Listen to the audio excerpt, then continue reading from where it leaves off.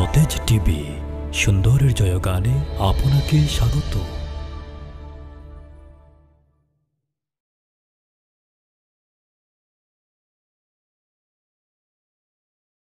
আল্লাহ রসুল সাহাবিদেরকে নসিহত করেছেন, পুরুষদেরকে উদ্দেশ্য করে যেভাবে নসিহত করেছেন, মহিলাদেরকে উদ্দেশ্য করে বিশ্বনবী নসিহত করেছেন।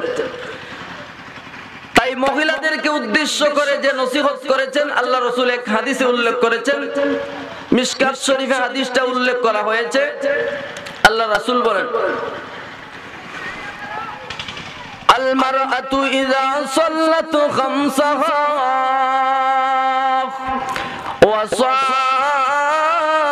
وصامت شهرها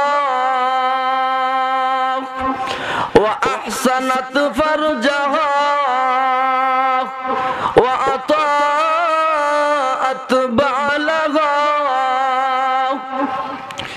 فتدخل من أي أبواب الجنة شاءت আল্লাহ নবী বলেন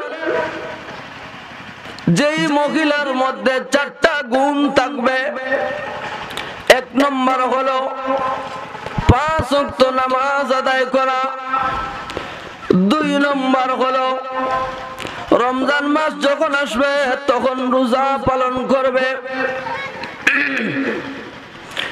রোজা রাখবে। তিন নম্বর হলো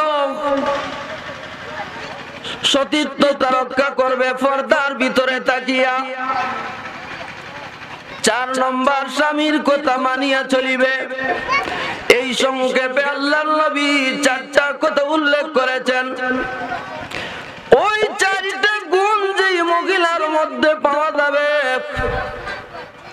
চার গুণে যেই মহিলা গুণান্বিত হয়ে যাবে পাঁচ নামাজ গুরুত্ব সহকারে পড়ার সময় মতো পড়া।